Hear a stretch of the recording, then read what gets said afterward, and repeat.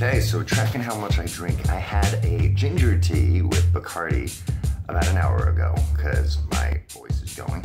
And right now I'm gonna have uh, Captain and Diet Coke. And it's 6.19 p.m. The time is 8.12, I'm at a New Year's Eve party, and this is my third drink of the day. 8.29, this is my fourth. I think it's. I'm on the gray lawn, uh, the fireworks are about to go off. From this distance on my phone, it actually looks like some terrifying explosions. Happy New Year, everyone. It's National Hangover Day, and I think I had five drinks last night.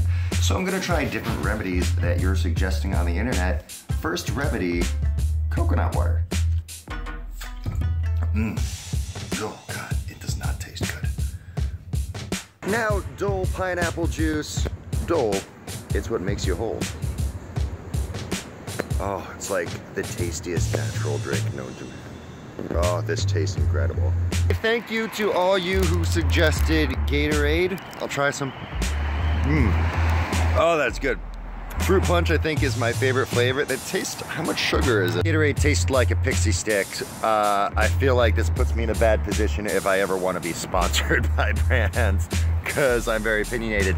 Thank you, Lorraine Riley, for suggesting Yoo-Hoo. Well, that tastes pretty good.